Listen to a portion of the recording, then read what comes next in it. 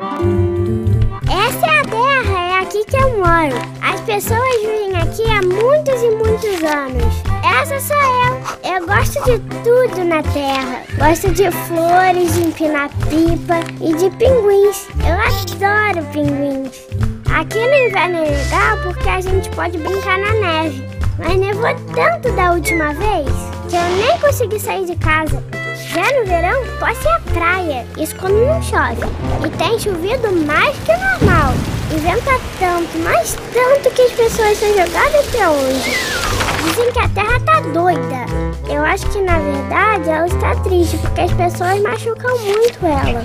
Tem pessoas que sujam, tiram pedaços e até queimam